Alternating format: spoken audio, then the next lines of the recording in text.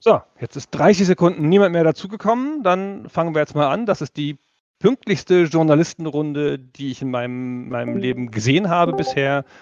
Ähm, ah, jetzt kommt natürlich noch jemand, das ist ja klar.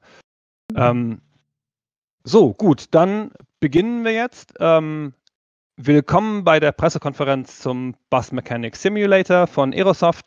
Ich würde als allererstes den Winfried Diekmann, den Geschäftsführer von Aerosoft, bitten, ein paar einleitende Worte zu sprechen. Winnie, machst du deine Kamera an?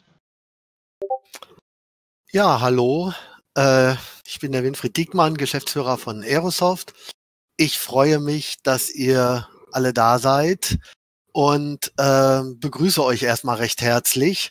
Leider können wir uns äh, zurzeit, ja, dürfen wir nicht so wirklich eine äh, Veranstaltung machen, wo wir den Bus Mechanic Simulator vielleicht dann auch in einer echten Werkstatt vorgestellt hätten oder in einem ähnlichen Ambiente. Wir müssen es äh, digital machen, aber das ist für uns auch neu. Und äh, neue Sachen sind ja auch immer mal was anderes und man muss sie ja auch ausprobieren. Äh, zuerst einmal ich glaube, ihr habt alle hoffentlich ein Paket bekommen. Bitte nicht mit dem Schraubenschlüssel jetzt ähm, versuchen, die Flasche zu öffnen, sondern äh, schütteln und dann vielleicht zum Frühstück erstmal einen gemütlichen O-Saft, der im Übrigen aus Paderborn kommt. Nicht die Orangen, aber der Saft. Deswegen haben wir ihn ausgewählt. Wir sind da immer Lokalpatrioten. Äh, und dann kann man hier mal mit etwas O-Saft anstoßen. Prost. Das Knoppers kommt auch nur 30, 40 Kilometer von uns entfernt aus Ostwestfalen. Und dann haben wir auch noch ein bisschen Käsegebäck äh, dabei. Dafür ist es natürlich wichtig, dass die Mikrofone gemutet sind, sonst hört man das Knacken sehr laut und das Knistern. Ähm, ja, ich hoffe, dass es eine schöne Veranstaltung wird, dass es eine informative Veranstaltung wird und würde mich freuen, wenn ihr nachher mit vielen Fragen unsere Experten bombardieren würdet. Ihr könnt natürlich an alle Teilnehmer von Aerosoft, aber auch an die Entwickler äh, Fragen stellen zu allen Bereichen und würde mich freuen, wenn ihr nachher auch Spaß daran habt, den Bus Mechanic Simulator mal anzuspielen, zu testen und selber mal zu schrauben. Ähm, ja, man kann ja einfach anfangen, mal gemütlich mit Ölwechsel oder ähnlichen Dingen und äh, nachher kann man vielleicht sogar den Motor ausbauen und kriegt ihn auch heile wieder rein. In diesem Sinne viel Spaß und ich gebe zurück an Gunnar. So, vielen Dank. Ähm, jetzt hören, gucken wir uns zur Einstimmung erstmal den offiziellen Trailer an. Fabian, bitteschön.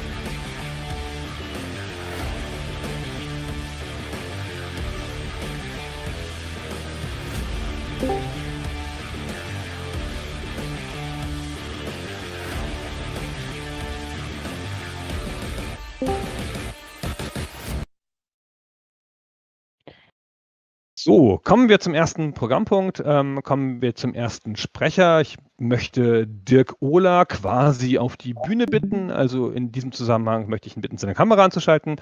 Dirk Ohler ist von Aerosoft, ist der Chef des Produktmanagements und ähm, ein Veteran der deutschen Simulatorenszene, ja, der einen großen Fußabdruck hinterlassen hat in der, in der Welt der Simulatoren und der erzählt uns jetzt ein bisschen was zum Spiel, wie es zustande kam und wie das Projekt so lief. Ich mache mich vom Acker hier kurz und äh, Dirk, deine Bühne.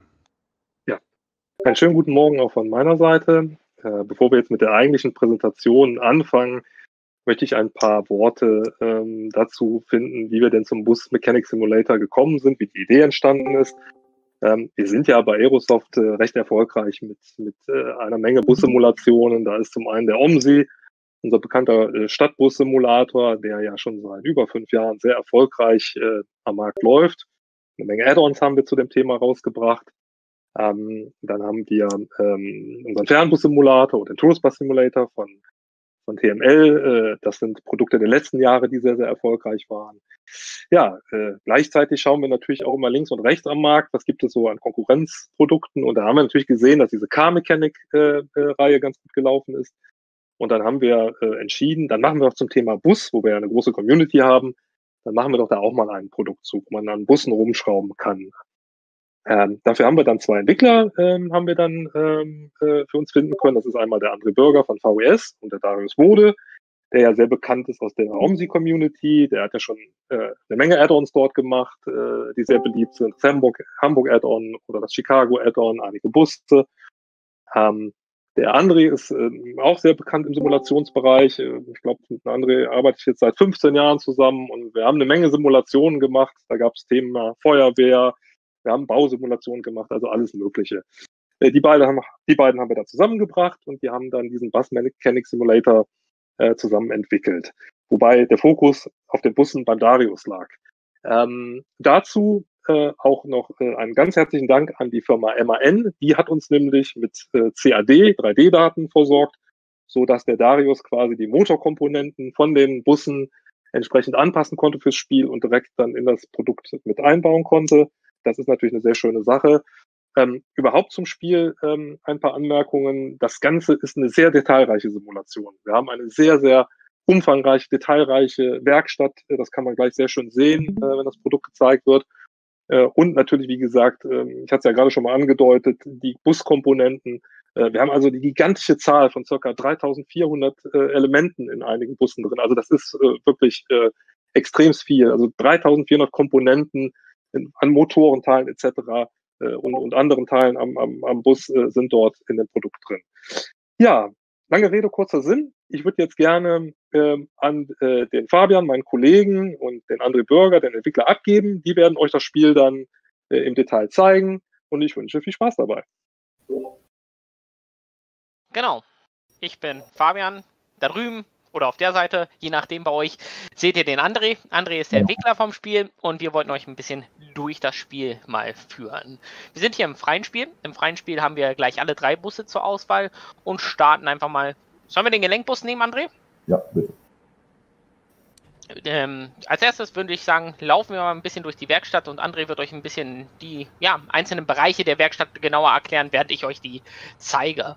Danach werden wir sicherlich ein bisschen am Bus mal rumschrauben können und uns ein paar einzelne Funktionen des Simulators angucken und zuletzt vielleicht auch noch auf dem Prüfstand den zweiten Hallenteil eingehen können.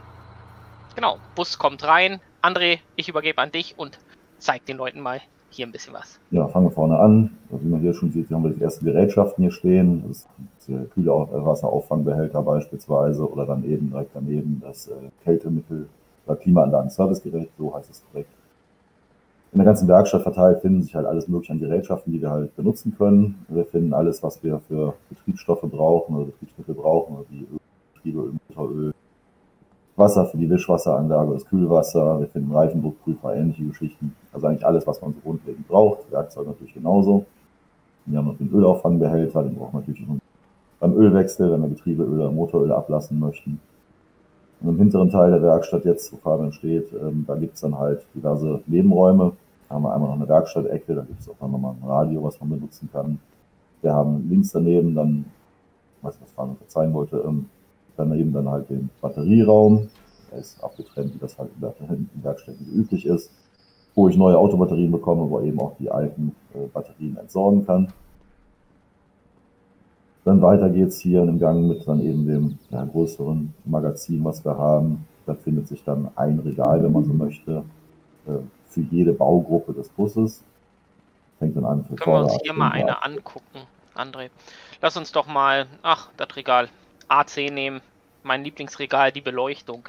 Hier kann man sehen den Detailgrad der Baugruppe Beleuchtung, unter anderem von der Glühbirne über verschiedene Klammern bis hin ähm, ja, zu den Leuchtenabdeckungen. Es ist wirklich alles dabei. Und den Detailgrad mit Beschreibung für die verschiedenen Sachen haben wir ja für jede Baugruppe. Es ist halt unterschiedlich, wie, wie viele Teile im Regal sind. Das hängt immer ein bisschen von der Baugruppe ab. Die eine weniger verschiedene Teile, die andere natürlich ein bisschen mehr. glaube, so Getriebe, Motor, ähnliches, wo auch am meisten verschiedene Bauteile auftauchen. Ja, lass noch mal weiter die anderen Räume dann angucken, oder wo wolltest du? No, genau, können wir noch mal kurz gucken. Also wir haben jetzt hier noch weitere Räume angrenzend, wo sich dann eben auch größere Bauteile äh, befinden. Also jetzt alles, was zu den Baugruppen, äh, die Türen beispielsweise gehört, was zu den Karosserieteilen gehört, die wir halt wechseln können. Im Nebenraum gibt es dann nochmal alles Mögliche zum Gelenk von den Gelenkbussen oder dann Teile. Alles, was sich im Innenraum des Busses befindet, über Sitze, über Schalter bis zum Fahrersitz. Also ist da ziemlich alles dabei. Genau. Oh, vielleicht können wir jetzt einmal die, uns die Gruben angucken. Der wirkliche Hauptteil der Halle. Ja. Es gibt halt wir drei, drei Schächte und letzten Endes ne, für jeden Bustyp haben wir ja eine äh, eingerichtet. Für den Solo, für den Gelenk. Hier können wir auch mal unser Licht anmachen, da wir hier gleich eh arbeiten werden. Und für den Doppeldeckerbus, wo die Decke ein ganzes Stück höher ist, damit der auch hier reinpasst. Genau die Lampen einfach so machen. Passt ja nämlich. Genau, hier genau. haben wir dann nochmal unseren Prüfstand. Da finden sich dann halt Gerätschaften und haben die Möglichkeit, eben einen Lichttest durchzuführen, eine Prüfung für die Bremsen und für die Abgasanlage, also wie man es in der Realität auch vermuten würde. Im Spiel haben wir es ein bisschen abgewandelt. Also hier bekomme ich jetzt nicht nur die Ergebnisse für, sage ich mal, die Bremsen selber, wenn ich jetzt hier einen, einen Prüfstand benutzt habe, und ich bekomme immer für bestimmte Baugruppen, die damit im Zusammenhang stehen, danach ähm, Auswertungen oder Protokolle, die mir dann das Leben ein bisschen vereinfachen, indem ich dann nicht mehr jedes einzelne Bauteil ähm, untersuchen muss per Sichtprüfung, sondern kriege dann halt eine Übersicht danach, dann halt für bestimmte Baugruppen, ZP Beleuchtung, wenn ich Lichttest gemacht habe, zeigt mir dann für alle beleuchtungsrelevanten Teile an, wie ist der aktuelle Status und dann bin ich halt ein bisschen schneller am Arbeiten. Genau, wenn André uns das erklärt hat, bin ich schon mal unter unserem Gelenkbus gehüpft und ich denke, wir werden einfach mal die einen Rad wechseln an der Vorderachse. Dafür schieben wir erstmal den Achsheber in gewünschte Position, um den Bus hochzuheben. Wir müssen natürlich den Bus hochbekommen, um das Rad zu lösen. Ohne das wird es natürlich schwer, ein Rad nachher runterzuziehen. Dafür schiebe ich jetzt den Achsheber unter die Vorderachse, werde gleich unter dem einmal herschlüpfen und den hochfahren. So, und dann fahren wir den mal hoch, dass der Bus auch ein Stück angehoben wird oder die Achse des Busses vor allem. Ich habe natürlich hier draußen auch noch zu sehen gleich die Radgreifer. Wenn ich den ganzen Bus hochheben will, um zum Beispiel ja, an unteren Karosserieteilen zu arbeiten, habe ich auch damit die Möglichkeit. Nun, um das Rad zu wechseln, brauchen wir ein bisschen Werkzeug. Wir sind hier im freien Spielmodus. Hier habe ich alles an Werkzeug freigeschaltet. Normal starte ich mit dem einfachen Schraubenschlüssel, wie ihr ihn auch bekommen habt um die Radmuttern gleich zu lösen. Ich kann im späteren Spielverlauf dann die Ratsche freischalten oder auch den Druckluftschrauber, den, für den ich mich entscheide. Damit geht das Ganze gleich ein Stück schneller. Ja, André, vielleicht willst du einmal erklären, was wir jetzt hier sehen, was wir jetzt machen müssen. Also was jetzt ganz hilfreich ist, glaube ich, auch gerade für Leute, die eben nicht ganz so äh, tief in so einer Thematik drin sind, haben wir es auch so gebaut, dass das eben halt für Leute verständlich ist. Fabian macht es gerade. Wenn ich jetzt das Rad, was ich gerade demontieren möchte, das hier anklicke und festhalte, zeigt mir das Spiel halt an, okay, Du siehst jetzt alle hervorgehobenen Bauteile. Das sind die Bauteile, die ich erst demontieren muss, bevor ich das Rad selber demontieren kann. Somit gibt das Spiel dann entsprechend Hilfestellungen, dass ich immer halt einen Überblick bekomme, was ich jetzt machen kann oder was ich machen müsste, um was Bestimmtes anders danach zu können. Genau, in der Zwischenzeit drehe ich hier schon mal die 10 Muttern vom Rad runter. Das geht ganz flott mit dem Druckluftschrauber, sodass wir den Rad gleich auch wechseln können alle 10 Schrauben runter. Ich nehme das Rad runter. Jetzt können wir natürlich hier schon die Achse sehen in Detailgrad. Da es mir natürlich schwerfällt, jetzt die Achse auch und die Bremse von hinten zu sehen, hat der André uns einen Orbit-Modus gebaut. Ich wechsle mal in den rein. Genau, wir können also jederzeit ein Bauteil von einer beliebigen Baugruppe anklicken, egal ob das jetzt gerade blau oder rot markiert ist. Dann kann ich mit F1, äh, kann ich halt in diesen Modus springen. Jetzt wird alles dargestellt, was zu dieser Baugruppe gehört und alle anderen Baugruppen werden halt äh, ausgeblendet, weil man sieht sie nur noch schemenhaft. Hier kann ich jetzt auch dann mit erneut F1 drücken auf das nächste Bauteil springen, was ich gerade markiert habe und kann mir so das Objekt jeweils zentrieren. Das ist halt hilfreich, wenn ich das einzelne Bauteil hier überprüfen möchte oder in bestimmten Sachen arbeiten will, komme ich hier halt so halt deutlich besser an die Sachen ran oder kann mir die Sachen besser angucken. Das ist ein relativ hilfreicher Modus. Fabian, du kannst gerade mal das Inventar aufmachen, bevor du jetzt irgendwas anderes machst. Und jetzt könntest du das Rad zum Beispiel nochmal anklicken, bitte, um es auf die Ersatzteilliste zu setzen. So ist mir mhm. aufgeschrieben. Wir wollen ja ein neues Rad haben gleich. Erstmal ja. schmeißen wir dafür, würde ich sagen, unser altes Rad weg. Das ist ja Mist geworden. wenn wir ein neues wollen. Ach, guck mal, eine Lampe hatte ich auch noch im Inventar. Wie André gesagt hat, habe ich mir jetzt das Rad auf die Liste gesetzt. Ich sehe hier, ein Rad benötigen wir. Das Rad liegt im Lagerplatz E.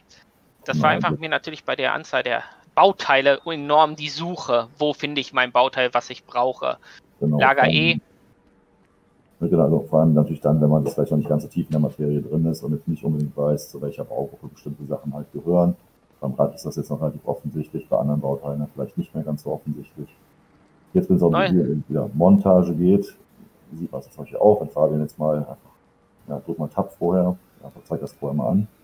Wenn ich jetzt halt irgendwo Tab drücke, sehe ich, okay, das Bauteil kann ich jetzt montieren. Das ist jetzt alles, was jetzt im Moment gemacht werden kann in diesem Modus.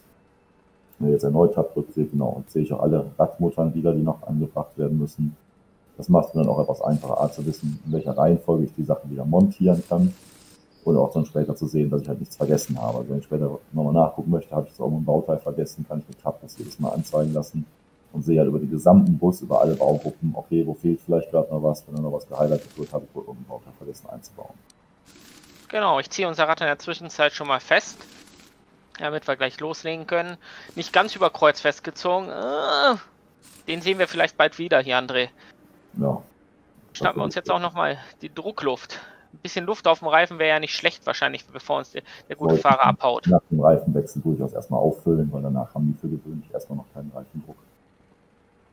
Ja, wie wir hier auch sehen, Reifendruck ist unten. Ich drehe den hoch auf 9 Bar, damit der gute Kollege dann auch eine freie Fahrt hat und eine sichere Fahrt. Vor allem, naja, wenn wir am Bus fahren, ich weiß nicht. Die haben es dem Spiel natürlich auch ein bisschen einfacher gemacht. Die Werte, die wir haben, die sind zwar korrekt, also die Barzahlen stimmen, aber ich meine, die meisten Leute werden wohl kaum wissen, wie viel Bardruck jetzt auf einem Busreifen drauf müssen. Und da haben wir das dann eben mit diesen farbigen Bereichen eingetragen auf der Skala, dass man das sehen kann. Das variiert also auch zwischen Vorder- und Hinterreifen, die unterschiedlichen Reifendruck haben. Das macht es dem Spieler dann etwas einfacher. So, Bus schwebt noch, Reifen ist dran, wir sind gleich durch. Lass uns doch mal in den Bus reingucken. Hier vorne ja. habe ich im Bus einen Taster, um die Tür zu entriegeln und kann auch in den Bus komplett reingehen und hier diverse Teile montieren. Vom Lenkrad ähm, bis oben hin die ganze Verbandkästen etc. habe ich die Möglichkeit, alles auszutauschen und neu zu machen. Wir können uns vielleicht jetzt mal die Türsteuerung angucken und auch nochmal den Orbit-Modus wechseln, um zu sehen, wie hoch der Detailgrad da hier ist. Genau, das funktioniert auch alles ordnungsgemäß. Also auch an dem Steuergerät oben für die Türe ist tatsächlich ein Schalter dran, mit dem wir die Türfunktion auch prüfen können. Und wenn jetzt tatsächlich Bauteile fehlen, die jetzt halt zur linken oder rechten Seite, für die jeweiligen Türflügel zuständig sind, dann würde die Tür an dieser Stelle tatsächlich auch nicht mehr funktionieren. Das ist auch alles korrekt umgesetzt. Und ja. wenn, Ne, so kann ich dann auch später jedes Mal die Funktion auch wieder prüfen und gucken, ob ich es ordnungsgemäß hergestellt habe. Klappe zu, Tür zu, würde ich sagen. Wir lassen den Bus runter und fahren ihn mal rüber in den Prüfstand. So eine Abgasprüfung beim Bus wäre ja auch noch was. Ja, das können wir auch nochmal machen. Dann sieht man danach auch nochmal, wie das Prüfprotokoll aussieht. Genau, der Bus senkt sich jetzt wieder ab. Alle Türen sind zu, alle Teile sind so hm, zumindest halbwegs wieder montiert worden von mir. Damit können wir den bis rüber Bus, zu halten. Ja rüber in den Prüfstand fahren. Einmal an den Torschalter, Bus in den Prüfstand, unser Bus fährt raus und fährt gleich in den Prüfstand wieder rüber. Im normalen Modus würde ich dann über diesen Vorschalter zum Beispiel auch die fertigen Aufträge abmelden können. Genau, anders als im, im richtigen Spiel im, äh, erhalte ich im freien Modus keine Aufträge. Im freien, im normalen Modus erhalte ich Aufträge, die mit der Schwierigkeit stärken. Am Anfang habe ich noch einen Radwechsel, bis später dann das komplette Getriebe auseinandernehmen, äh, Wartungsarbeiten vom Ölwechsel und und und alles im Progress nach und nach immer schwieriger, damit ich mich da auch zurechtfinde. So, Bus ist drüben, wir noch nicht. Ich renne mal kurz hinterher und setze mich ans Prüfprotokoll oder an den Prüfstand.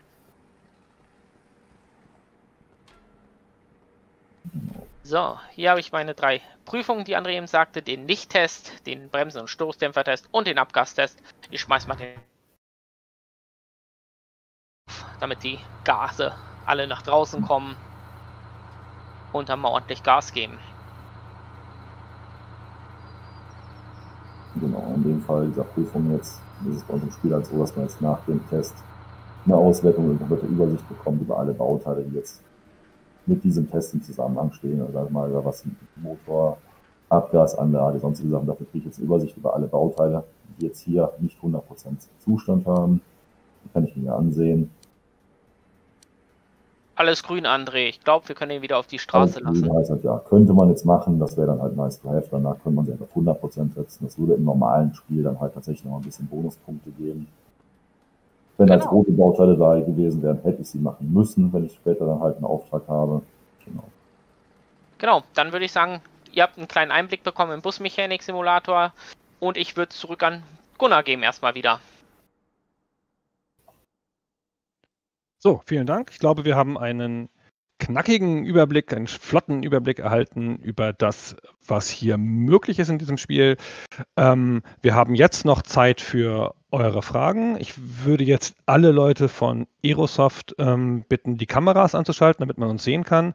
Und wenn ihr wollt, könnt ihr auch auf den Grid View zurückstellen, weil der Stream-Teil jetzt vorbei ist oder den Stream einfach, einfach löschen äh, closen. Ähm, ich sage nochmal ganz kurz, wer hier ist. Ähm, wir, ihr habt eben gesehen, André den Entwickler und ähm, Fabian den Producer, die haben euch durch das Spiel geführt. Ähm, ihr habt vorhin gesehen, Dirk Ohlert vom Produktmanagement und den Winfried Dickmann ähm, von der Geschäftsführung.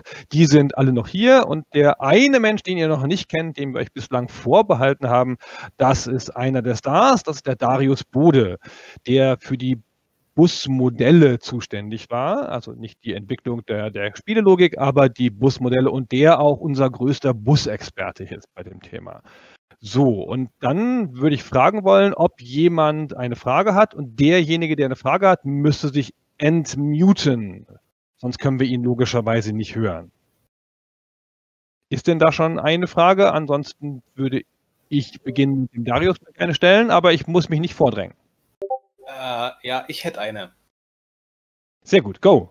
Ähm, eben gerade beim Reifenwechsel ähm, hast du gesagt, die Dinger müssen wie im echten Leben über Kreuz oder beziehungsweise ihr habt die wie im echten Leben über Kreuz angezogen. Ist das für den Spielverlauf echt notwendig, dass man die Schrauben beim Reifenwechsel über Kreuz anzieht? Oder war das jetzt nur so aus dem echten Leben nachempfunden? Das ist es ist. Genau, André, mach du bitte. Das ist tatsächlich im Spiel jetzt nicht ganz. Äh, also, das kann man machen, wenn man das möchte. Aber das nimmt einem das Spiel jetzt auch nicht krumm, wenn man das nicht tut. Ah, okay. Also so weit übertreiben wollten wir es dann nicht. Also wir haben schon sehr, sehr viele Regelwerke drin, die eingehalten werden müssen. Das ist schon so weit. Ich glaube, man kann es auch übertreiben. Okay, ihr wollte bloß authentisch sein. Noch eine Frage von jemandem?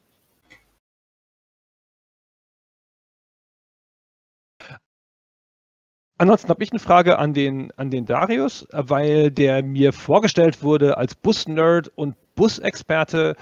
Und da würde ich gerne mal hören, wie wird man denn Bus-Nerd oder Busfreak? Ja, bei mir ging das los mit der Fahrt zur Schule, wo man dann die Busse täglich gesehen hat und gehört hat.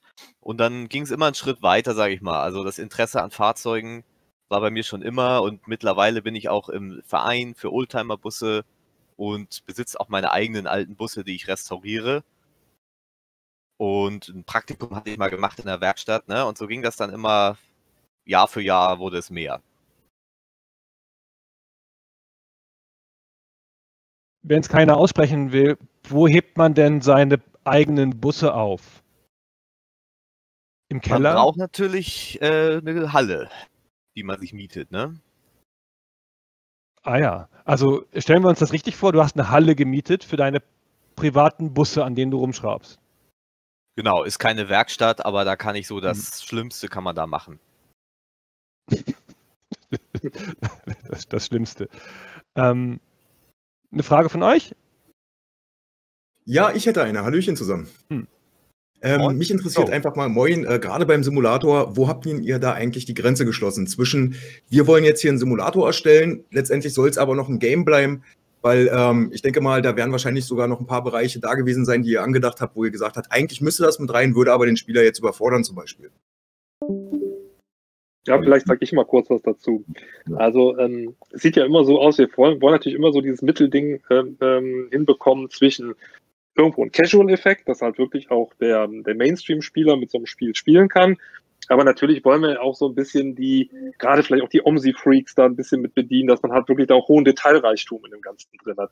Deswegen würde ich sagen, wir haben versucht, da so ein Mittelding zu finden. Also zwischen Casual, aber natürlich auch sehr in die Tiefe gehen und mit Detailreichtum, so dass halt ähm, wirklich eine große Bandbreite an Spielern so ein Produkt spielen kann. Hm, alles klar, danke ich würde sogar sagen, wir haben ein bisschen die Finger aus der Elektronik rausgelassen, weil das nochmal ein ganz anderes Thema ist, sondern im mechanischen Teil von uns wiedergefunden, den man auch als Laie vielleicht ein Stück leichter nachvollziehen kann. Ähm, ich kann eine Schraube losdrehen oder auch eine Radmutter, kann ich mir jeder auch als Nicht-Bus eine Experte vorstellen. Wenn es zur Elektronik geht, da gehört schon sehr viel mehr Know-how da, wobei Sicherungen haben wir zum Beispiel drin. Hm, okay. Ja, danke schön. Also der Andreas von YouGame hat eben im Textchat eine Frage gestellt, die lese ich jetzt gerade mal kurz vor. Ähm, der fragt, wie viele ähm, Busse gibt es denn am Anfang, also wie viele Modelle und wird es eventuell per DLC weitere geben? Habt ihr da was geplant? Also aktuell sind es halt drei Busmodelle. Es ist halt einmal ein Solobus, dann gibt es den Gelenkbus und den Doppeldecker. Alles drei von MAN. Ähm, was da jetzt weiter geplant ist, was Dirk oder Fabian da mehr zu sagen kann, das ist halt, glaube ich, im Moment erstmal Stand, ja, genau geplant ist da im Moment jetzt erstmal noch nichts. Also das ist, glaube ich, so der jetzige Stand. Ähm, das Spiel ist erstmal fertig, also, also wirklich fertiges Produkt. Und so soll das, glaube ich, erstmal betrachtet werden. Genau würde ich auch zustimmen. Im Moment, wir gucken natürlich nach neuen Bussen, gerade die Busse, die wir auch in anderen Simulatoren wiederfinden, würden sich natürlich hier schön widerspiegeln. Da es natürlich ein Riesenaufwand ist mit den über 3000 Teilen oder 3400 Teilen pro Bus, ist das immer eine Frage, ähm, will ich nicht nur einen Bus haben als Spieler vor allem, ähm, aber wir halten die Augen offen und hören da vor allem auch ein bisschen auf die Community, was die sich wünscht, wonach die mehr Hunger hat. Vielleicht noch von mir dazu. Ähm, es geht erstmal uns auch darum zu sehen, wie kommt das Gameplay an, wie kommt das Spiel überhaupt an. Ähm, haben wir den Nerv der äh, Bus-Community getroffen? Gibt es vielleicht im Bereich Gameplay Dinge, die wir noch verändern müssen? Und ähm, da muss man einfach sagen, wir haben äh, wirklich mit Darius einen Experten, der ja nicht nur Busse sammelt, sondern die Busse auch fährt und fahren darf. Und ähm, der eben auch viele Busse als Add-on äh, entwickelt hat. Äh, von daher haben wir einen gewissen äh, Know-how-Bestand. Aber zuerst mal geht es uns darum, im Zweifelsfalle das Spiel äh, so zu gestalten, dass die Leute Spaß dran haben und dann den zusätzlichen Content dazu zu bauen. Ich habe noch eine Frage aus dem Textchat von dem Lukas, der fragt, wie kommt ihr dazu, dass ihr euch für MAN-Busse entschieden habt? Weil doch der Darius ist doch für Mercedes bekannt. Was ist denn das mit dem Darius? Ja, also das ist äh, einerseits natürlich, dass das MAN sehr äh, freundlich gestimmt ist gegenüber solchen ja. Spielen. Das hat man beim OMSI auch schon gemerkt und da haben wir eben auch die Möglichkeit gehabt, CAD-Daten und die Lizenzen zu bekommen. Äh, Mercedes finde ich genauso schön oder nur bei MAN hat einfach alles zusammengepasst, weil wir haben in Hamburg die Busse, ich konnte sie im Original untersuchen, ne? wir haben die Lizenzen gekriegt, deswegen war das einfach das Passende. Vielleicht kannst du dazu noch ein bisschen ausführen und erzählen, wie diese Zusammenarbeit mit MAN denn gelaufen ist. Haben die euch einfach dann Daten vor die Tür geworfen oder gab es da einen Backkanal, wo du noch Fragen stellen konntest, als du die Busse entwickelt hast?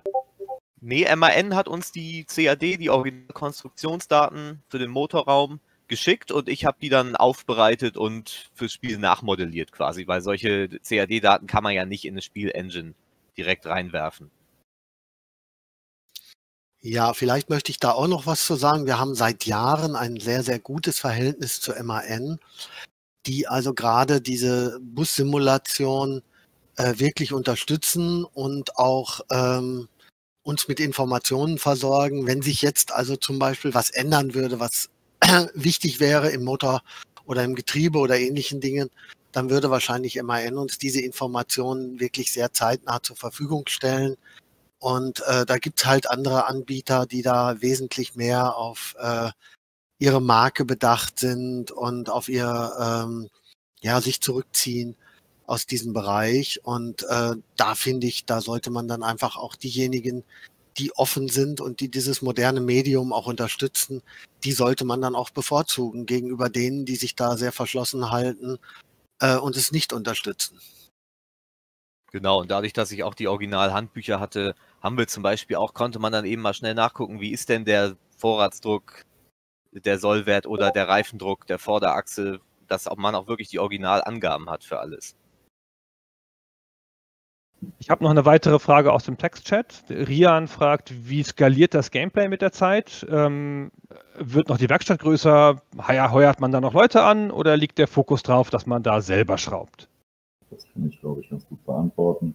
Also im Spiel, also sagen wir, im Spiel selber, wir arbeiten im Spiel ähm, auf Erfahrungspunkte. Also ich kann halt für jeden Auftrag, den ich abschließe, bekomme ich Punkte. Mit den Punkten kann ich dann diverse Funktionen nach und nach freischalten, wenn ich also nicht im freien Spiel, sondern im regulären Spiel unterwegs bin. Dabei kriege ich dann unter anderem halt, kann ich mir neue Werkzeuge zulegen, mit denen ich dann einfach die Arbeiten beschleunigen kann. Machen kann ich natürlich vorher schon alles, weil damit werde ich einfach schneller. Ich kann die Prüfstandfunktionen nach und nach freischalten. Und ich fange am Anfang auch mit relativ einfachen Aufgaben an. Das heißt, ich kriege Aufträge wie, keine Ahnung, einen Ölwechsel durchzuführen, Radwechsel durchzuführen, mit anderen Betriebsmitteln zu kontrollieren, aufzufüllen. Es fängt also relativ einfach an, dass man als Spieler auch so erstmal an die Funktionsweise des Spiels rangeführt wird, dass man an die an die Arbeitsweise rangeführt wird und auch so ein bisschen den Bus kennenlernt und schon mal die grundlegenden Dinge wiederfindet. Und wenn ich kann dann nach und nach, wenn ich halt mehr Aufträge habe, bekomme ich dann auch die anderen Busmodelle erstmal dazu. Ich muss ein paar Aufgaben abgeschlossen haben. Im Solobus bis ich erstmal den Gelenkbus dazu bekomme. Wieder mehr Aufgaben kriege ich den, den Doppeldecker dazu. Und wenn ich dann halt eben genug Punkte erspielt habe, um auch die nächsten Erfahrungsstufen freizuschalten, werden die Aufgaben halt komplexer. Dann werden auch die Aufgabenstellungen komplexer. Ich muss also mehr machen oder mehr gleichzeitig machen. Ich muss ja, kompliziertere Auf, äh, Aufträge durchführen. Und ich habe dann noch den Punkt, dass halt die Fehlerbeschreibung auch irgendwann ungenauer wird. Also am Anfang heißt es dann noch relativ konkret, dass ich mal einen Radwechsel durchführen soll oder mal Bremsbelag wechseln soll. Das später im Spielverlauf kann es auch dann wirklich heißen, okay, der, der Fahrer hat einfach nur gemeldet, dass der Bus beim Bremsen ständig nach links zieht. Und dann muss ich selber gucken, woran es liegt. Das habe ich dann hoffentlich bis dahin so ein bisschen gelernt, dass ich dann weiß, okay, das kann am Reifendruck zum Beispiel, dass an der Radaufhängung irgendwas nicht stimmt. Und da muss ich halt selber rausfinden, woran liegt es. Klar, wenn der Bus beim Bremsen in irgendeine Richtung zieht, dann sind wahrscheinlich die Bremsbeläge auf der einen oder anderen Seite eben schlechter als sonst auf der anderen Seite. Und das lernt man dann eben mit der Zeit dazu. Und ich glaube, dadurch wird der, der Spieler ganz gut da reingebracht und hat entsprechendes, äh, ja, eine entsprechende Lernkurve da drin. Ja, das ist auch das Spannende, dass, äh, dass man dann sieht, wie sind die Zusammenhänge, weil man kriegt ja auch diese Hilfsanzeige mit den Outlines, dass man quasi sieht, welche Bauteile könnten dazugehören. Und dann kann man halt sehen, zum Beispiel, wenn die Zielanzeige vorne nicht funktioniert, wo ist überhaupt die Steuerung dafür? Wo vielleicht liegt es ja gar nicht an der Anzeige, sondern an der Steuerung. Dazu gab es eine Folgefrage. Also es gibt kein klassisches Werkstattmanagement. Also genau. man, man heuert keine Leute an, genau. Genau, wir haben den Fokus hier auf das selber Schrauben, das selber Erkunden des Busses. Ich möchte verstehen, wie der Bus funktioniert ich bin der Mechanik, ähm, ich leite diese Werkstatt und bin auch der Angestellte letztendlich. Deswegen haben wir auch auf ähm, ein Geldsystem, wie man es aus anderen Mechanics ähm, kennt, verzichtet. Ich, bei anderen Mechanics habe ich den Progress vor allem über Geld. Ich bekomme Geld, kann mir neue Teile kaufen. Wir stellen hier den Spieler die Teile schon bereit. Er soll den Bus einfach nur in der Detailgenauigkeit wieder ans Laufen bekommen und sicher auf die Straße schicken letztendlich. Ein Schrauberspiel. Ähm, ich habe noch eine Frage aus der, ähm, aus der Runde und zwar, was ist mit DLCs und ähm, Community Content? Wird es da möglich sein, eigenen Content zu entwickeln, wenigstens mittelbar? Also Content selber entwickeln für das Spiel halte ich für sehr, sehr schwierig bis nah unmöglich. Die, die Komplexität der Busse ist einfach so wahnsinnig hoch und der Aufwand diese ganzen Verkettungen anzulegen. Also es ist im Hintergrund eine ziemliche Datenbankanwendung, die genau die Reihenfolgen festlegt, was die Abhängigkeiten von den Bauteilen zueinander sind, dass wir da pro Bus etliche Monate dran gesessen haben, ohne das wirklich zu verstehen, wie das im Detail bis ins Kleinste funktioniert. Das wäre wahrscheinlich für einen Außenstehenden nicht. Aber ich würde niemals nie sagen, André, wenn jemand Interesse hat und das Know-how hat.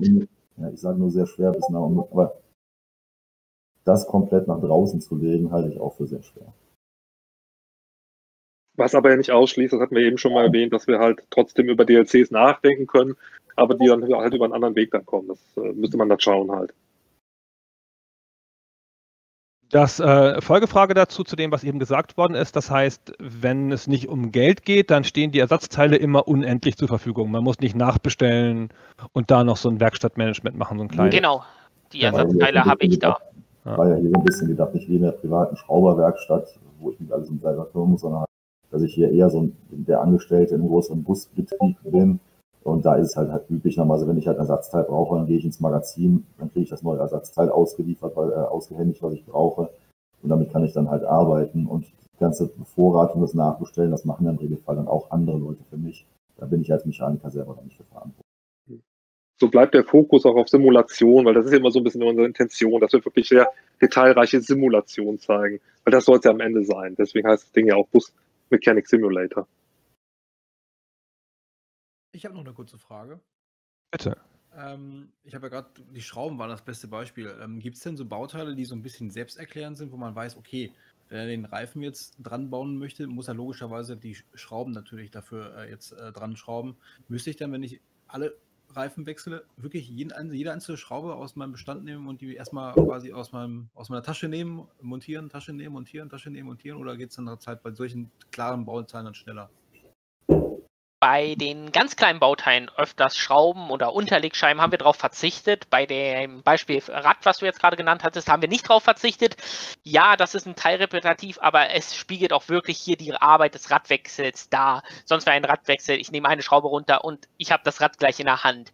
Aber umso tiefer man kommt, haben wir geguckt, dass Kleinstteile, die letztendlich auch schwer im Fokus zu nehmen sind, ganz kleine Schrauben, Unterlegschrauben, Dichtringe oder sowas, nicht mehr ähm, einzeln demontiert werden müssen oder montiert werden und haben zum Teil auch ja, Schläuche zusammengefasst. Die haben Hydraulikschläuche. Natürlich gibt es in einem Bus verschiedenste Hydraulikschläuche, nur du hättest sonst eine Liste an 30 verschiedenen Hydraulikschläuchen mit, ja, Hydraulikschlauch, Bremse, Hydraulikschlauch, Punkt, Punkt, Punkt, Punkt, Punkt, Punkt, Punkt, Punkt.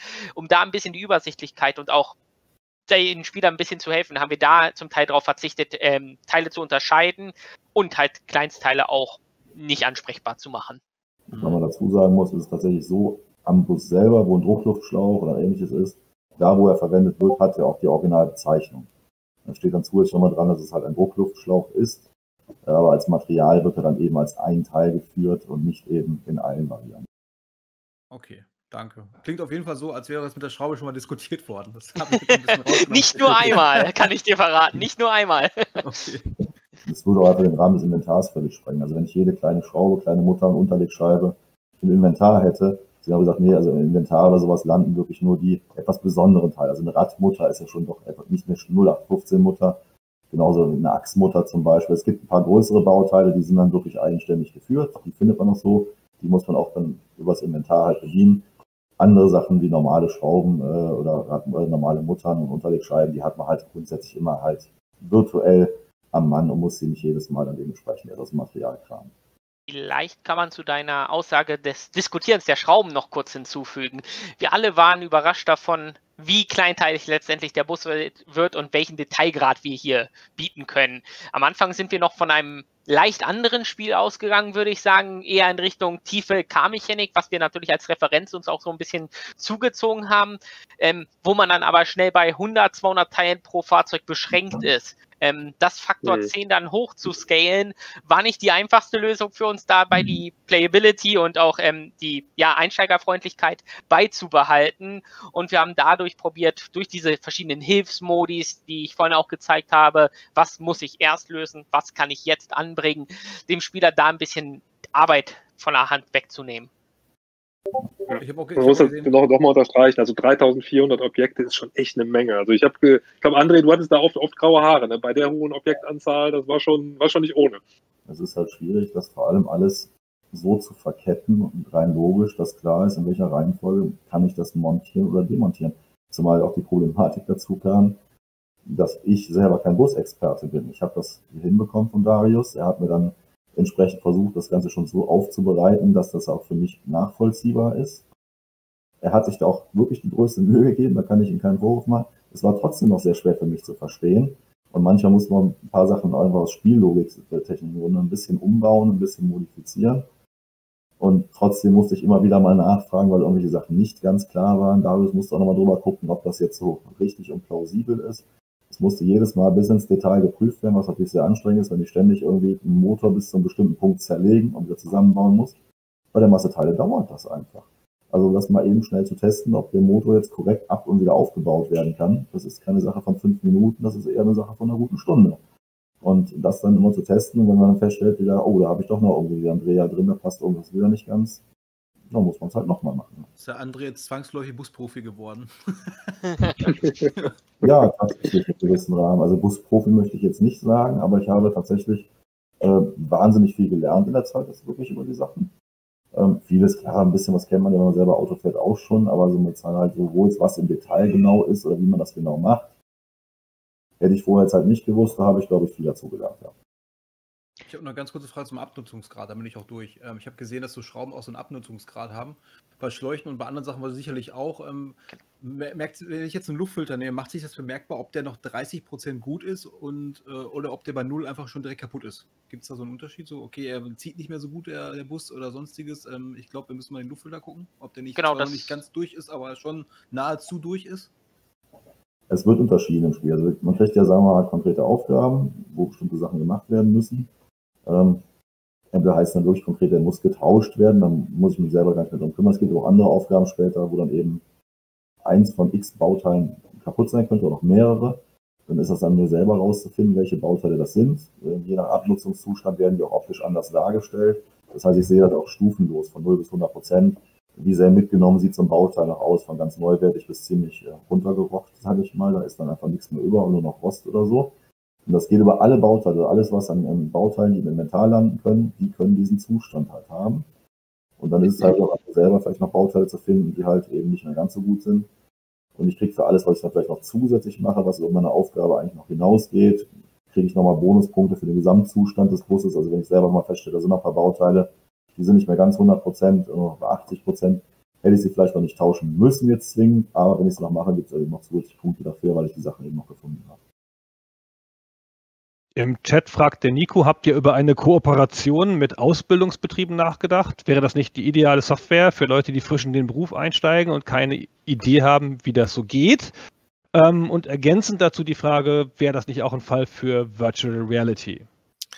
Ja, dazu, gerade zum Thema Ausbildung, ähm, als ich jetzt die ähm, finalen Dinge beim Busmechanik Simulator gesehen habe, äh, ist mir das eigentlich auch in den Sinn gekommen, dass man da mal mit Kooperationspartnern spricht. Das heißt, ich werde auf jeden Fall MAN anbieten, wenn Sie möchten, äh, dass die das natürlich einsetzen dürfen, gerade weil es um Ihre Busse geht.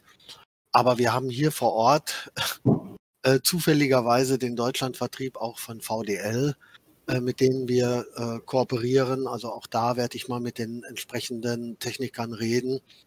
Und ein weiterer Partner ist die äh, ADAC Fahrerakademie in Paderborn, die auch Busausbildung macht. Und äh, auch da kann es sein, dass die sagen, Mensch, eigentlich ist sowas ja auch interessant für unsere Busfahrer, die wir ausbilden, dass die sich das einfach mal angucken und das Spiel mal äh, anspielen, um äh, einfach ein bisschen Verständnis für ihren Bus zu bekommen. Also ich werde da mit Sicherheit mit einigen Leuten drüber reden und zu VR. Ähm, wir haben lange darüber überlegt, VR, also André selbst hat einen Background im Thema VR oder ein zweites Standbein, würde ich sagen, mit vor allem Karussells, Attraktionen mit VR auszustatten.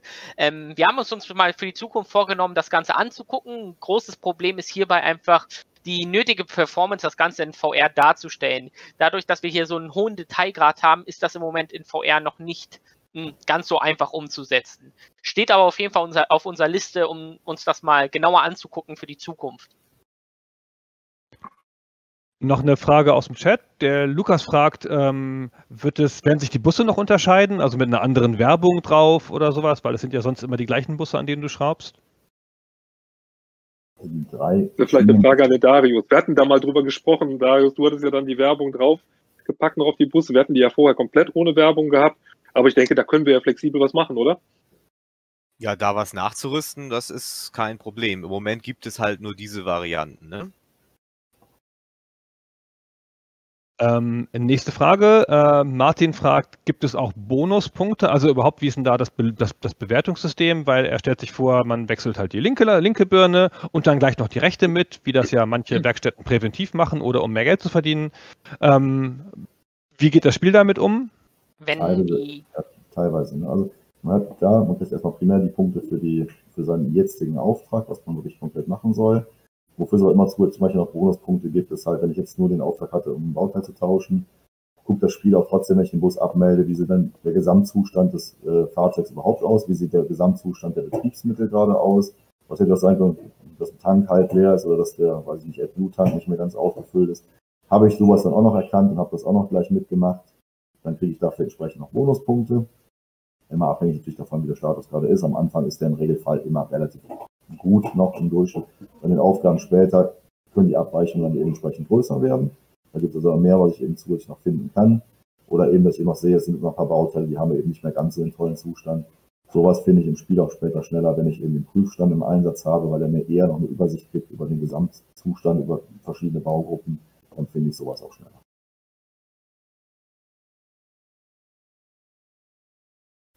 So. Noch jemand eine Frage? Oder habe ich eine übersehen? Jemand, der noch eine loswerden will? Ja, ich würde ganz kurz nochmal darauf eingehen, auf dieses Bewertungssystem und gerade am Ende. Ähm, wenn ich jetzt einen Bus abgebe, dann kriege ich halt dann die Punkte und äh, wird mir dann auch gezeigt, hm, das hast du vergessen, hättest du das gemacht, hättest du 100% gekriegt? Genau, ich okay. kriege eine Übersicht drüber, was habe ich wie gut gemacht, wo sind noch Möglichkeiten, mehr Punkte rauszuholen oder wo wären noch mehr Möglichkeiten, Punkte rauszuholen. Ähm, letztendlich ist das die einzige Möglichkeit, das bis zum Prüfstand wirklich zu machen oder ich unterziehe jedem Teil einer Sichtprüfung in dem Prüfungsmodus. Nachher mit dem Prüfstand kann ich natürlich abwägen, ich habe meine Liste mit Teilen, was ist gelb, das wechsle ich auf jeden Fall. Vielleicht wechsle ich noch die ersten drei grünen, um ein paar Bonuspunkte mitzunehmen und so schneller ja, den Game Progress durchzustellen, ähm, schneller die neuen Werkzeuge zu bekommen, schneller die neuen Funktionen zu bekommen. Dazu Folgefrage, gibt es auch Minuspunkte, wenn ich was tausche, was noch okay ist? Nein, also wenn ich das tausche, was noch okay ist, das Spiel guckt ja drauf, wie der Zustand später ist. Da ich auch kein Geldsystem habe, habe ich dadurch jetzt zunächst mal keinen Nachteil. Minuspunkte bekomme ich dann, wenn ich eine Aufgabe entweder gar nicht gemacht habe, die auf dem Zettel stand, die ich hätte machen sollen, oder ich irgendwas zum Beispiel unvollständig gemacht habe. Oder äh, unvollständig bekomme ich nur noch Teilpunkte, von denen ich hätte bekommen können. Und wenn ich es halt mangelhaft gemacht habe, bekomme ich Minuspunkte. Wo ich auch Minuspunkte für bekommen kann, ist, wenn ich einen neuen Auftrag bekomme und sage, ach, den möchte ich jetzt nicht schon wieder machen, den habe ich schon mal gemacht dann kann ich diesen Auftrag auch ablehnen. Dafür bekomme ich dann 100 Minuspunkte.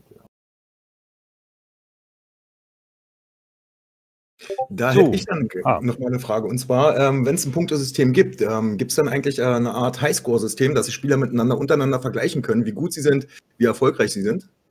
Nee, haben wir hier nicht. In Simulatoren auch eher untypisch, würde ich sagen. Ähm, es ist schon der eigene Ansporn, den Bus wieder hinzubekommen.